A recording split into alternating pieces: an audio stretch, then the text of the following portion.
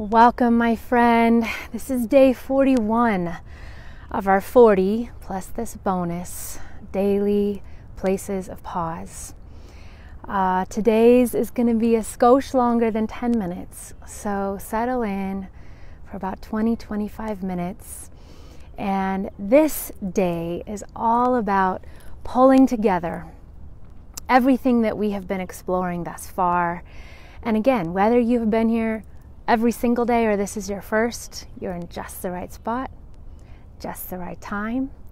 And uh, you can always go back and listen to some of the other uh, pops to fill up and fuel for your life and your unique purpose on the planet and to be connected with others as you go. So, in a minute, this is all about taking flight, claiming and leaping together.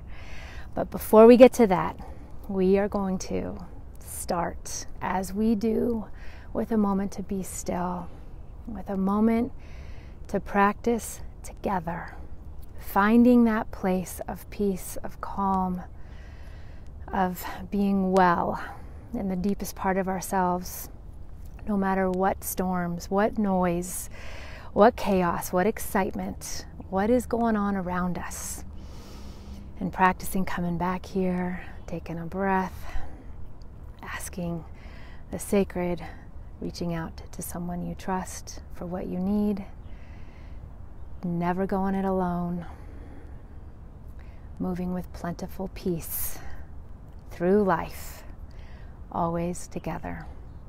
So keep taking those breaths. Keep taking in the sounds around you, arriving, being here and take a moment to think about someone near to you that you just want to companion in a virtual, sort of deeply connected, but maybe not with them in the moment way. Send them a blessing, a hope, a wish, a prayer for what you know, what you see that they most need today. It's this cool way we can just be with each other even while we cannot be with very many people in this season. Then, kind of taking the uh, zooming out the camera a little bit, think about someone that you've seen a story on the news about, read a story about on social media that is in need, that is struggling, that is distant in a distant land um, outside of the state where you live, the country where you live, the continent where you live. And just imagining reaching your arms, your arms of love, your big heart, sharing a little love, sharing a blessing, a prayer with them. And may we keep doing this, this rubber band of being still in our own hearts, reaching out to those near, dear, treasured, beloved to us, and to those in our mighty human family of sisters and brothers, to champion, to companion, to be with each other in life today, tomorrow, and on and on and on. So let's dive in. I'm so excited. Woo! So today, our bonus pop, technically day 41 is all about taking flight, claiming and leaping. I'm going to try not to fall in the lake behind me. That would make for some interesting, interesting claiming and leaping. Um, so keep breathing, keep being present, keep looking for the ways that this fuels your story, your unique, powerful purpose on the planet. Taking flight. It is time to leap, soar, and light up the world. You were made for this. This is your, this is our purpose on the planet. Hold your head high, eyes bright, direct, and fierce. Grab a hand, I'll take yours. And leap boldly and courageously. Leap and fly. Live ablaze and let's light up the world together. Claim and leap. Imagine that this adventure has brought you to the edge of a cliff. The vista from this vantage point is spectacular, unlike anything you've seen before. As you stand at the edge, with the parachute strapped on your back, you know it. It's time to leap. Your heart may be pounding, your breath may be short. You long for the leap, to feel the wind on your skin as you fly free and unfettered. But it's not easy. You have never leapt from this height before. You know that you must jump for that chute to open. The terror and the thrill make for a racing heart.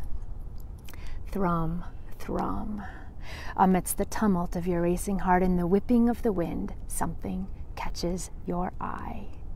As you look to the left and to the right, you see it. It is not something, but someone. A lot of someone's, in fact. The cliff edge is lined with others, and more are coming. They have been journeying and exploring, taking small and big steps leading them to this cliff's edge, just like you, with you. So, our 41st bonus pop. This bonus place of pause will set the stage for you to see, really see the stunning panorama of your journey, of your life. May it quiet your heart and your mind to see and listen in that soulful way to the beauty and the courage that is in you now. First, be still, surrender. Wowza, right? Jumping from a cliff with a parachute strapped on your back. These are audacious and exhilarating imaginings, eh? We'll return to them in a bit. But for now, my friend, take a breath. Take this time for silence and stillness. Let go of the possibilities and conundrums, the things known or unknown, excitement or fear, and be here, breathing, being. And return here. Second, ponder. Go deeper. The last six days, we've been exploring this notion of shared and collective vocations. They were warrior, peacemaker, philanthropist, bridge builder, hairdresser, that hairdresser tool of yours, and explorer. If you missed them, check them out on the replays. No worries. Which ones beckon you to claim them as if they were written on a business card? Imagine making the vocation that most captures your attention your own. Add the ones that call to you that aren't listed and let me know what it is I'd love to hear. Dream big here without shoulds, free from fear.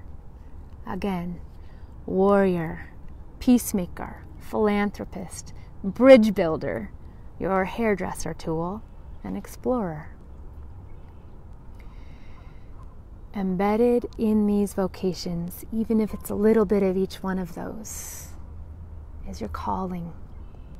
Who you are, what you do, why you're here, what will bring a spring in your step, feel good difference making right here in lockdown, in quarantine,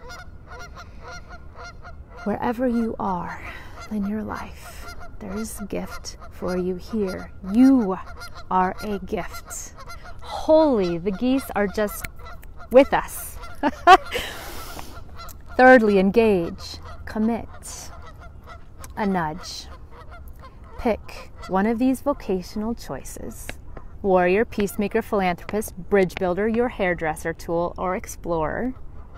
Or if you're like me, a little bit of each. And write a job description of how you do this work. Give this way of life some empowering, juicy details. Imagine it. Write what you know and what you dream of. and let go of what you don't know.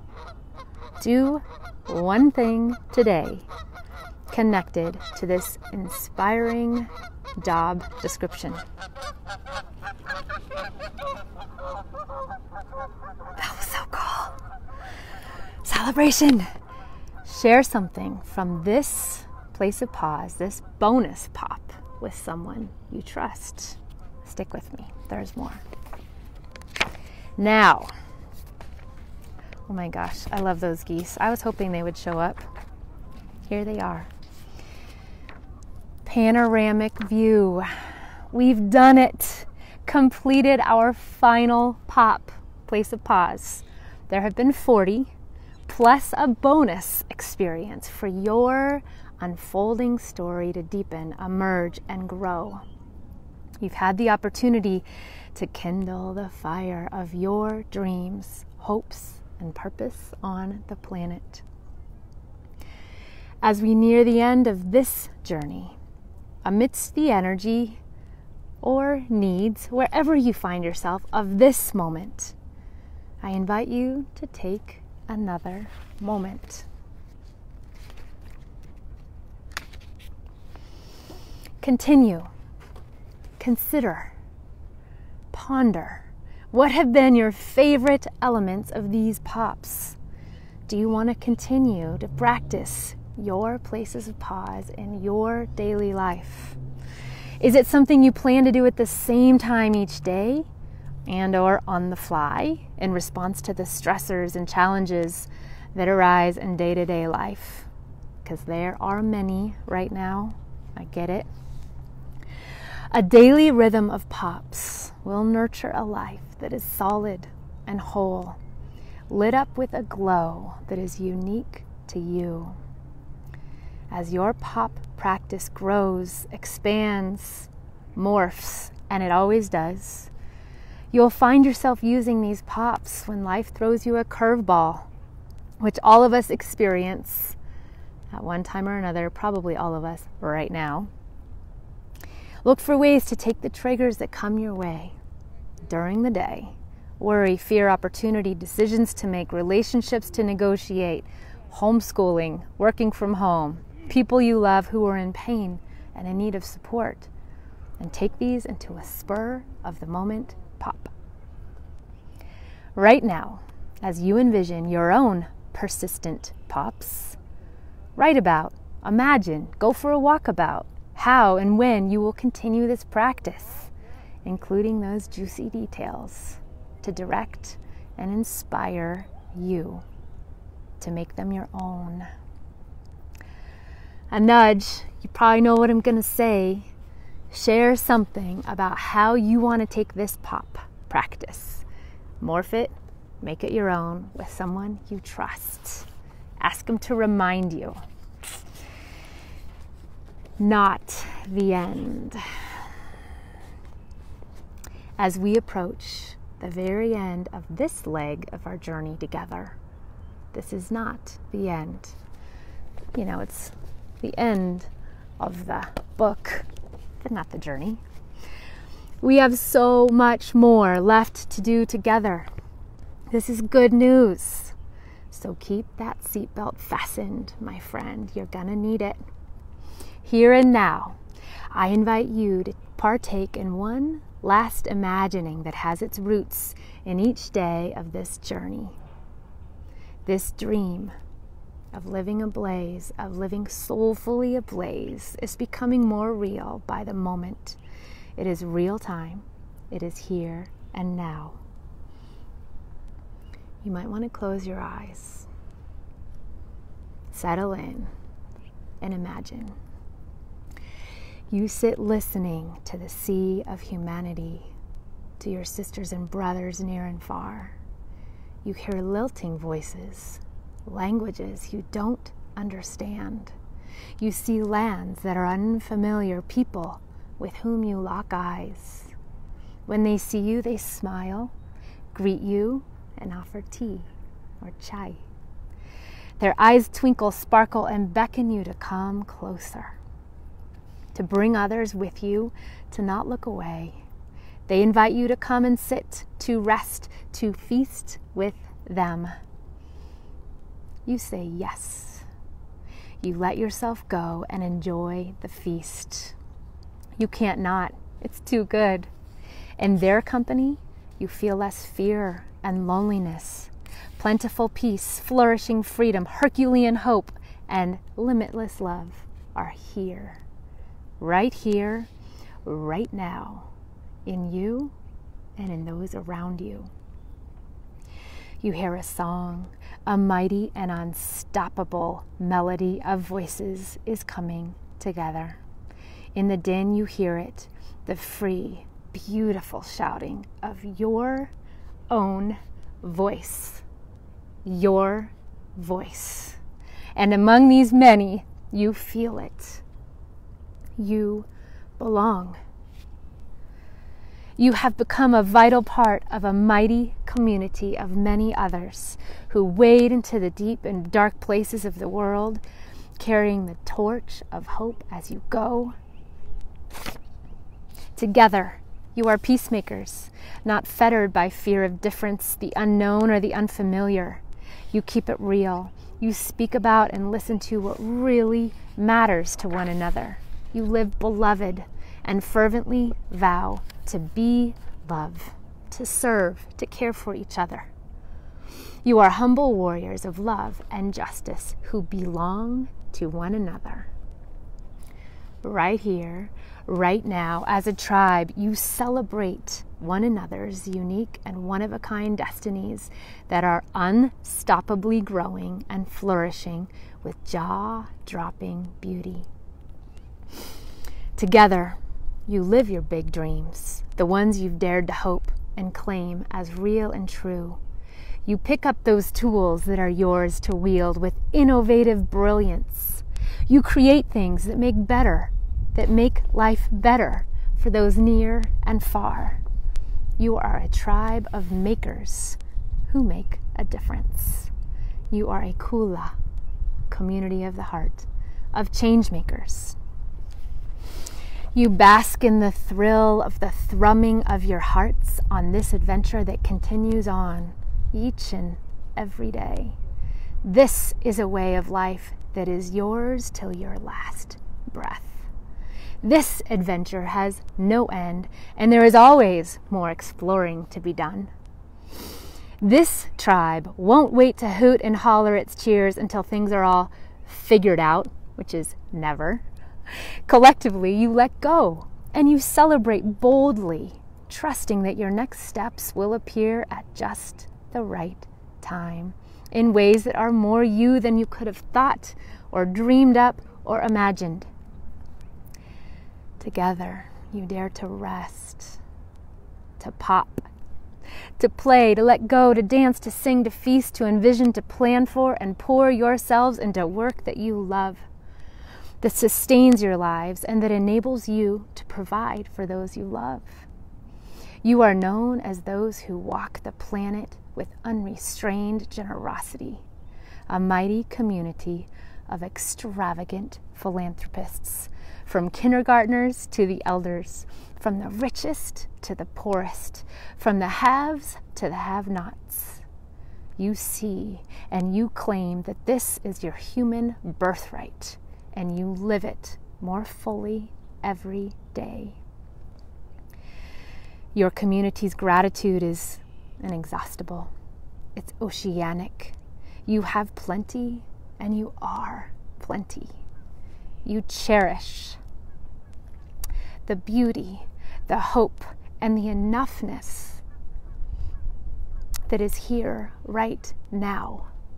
And I don't say this, I wrote this many years ago, and I don't say this lackadaisically. I know many feel that we don't have enough.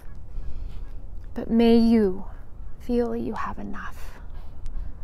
May you reach out and ask for what you need so that you have what you need. You are buoyed, your loads are lightened. And about those loads, you carry those burdens together. You are burden bearers for one another in the dark and light moments of life. You live humbly and unrestrained in your interdependence as a tribe. You bask in a steady stream of conversation with each other as trusted soul friends. These conversations extend to include more and more of those in your human family and with the always with and for you spirit. Wow. I need to blow my nose, but I didn't bring a tissue. I should learn. It's time to take a breath.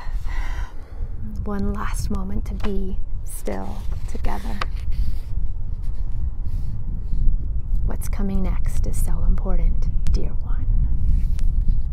Listen. Do you hear it? The tribe of your human family has gathered and is cheering you on, celebrating you, cheering for you, seeing your freedom, courage, compassion, and your fierce and unstoppable commitment to be love. I am in this crowd, shouting rowdy hurrahs for you. We wildly whoop your name. We rise to our feet and stomp a boisterous standing ovation for you. We revel in who you are, and who you have become, and in who you are yet to be. We are ecstatic and ready to keep leaping and to light up the world with you. The cause of our thunderous praise is crystal clear. You rock and you are ablaze. So, my wondrous and extraordinary friend, buckle your seatbelts. Holy guacamole. Thank you for this journey. This has been amazing. I welcome anything that comes your way of needs that you still feel that you have, ways I can support, companion, pray for you. Um, what is percolating in your ablazeness? So, my friend, as you go today, may you live beloved. May you live belonging the core of yourself that no one can take away. May you claim and may you stomp that we belong to each other. May you stand tall. May you take flight. May you claim and leap off that cliff with many others parachuting with you into the next season of life, into this day. And as you do, may you, may we light up the world together. I'm going to sing the first part of one of my favorite songs and try to light a candle. It's a little breezy here at my park, my lake. This is my closing song benediction for us.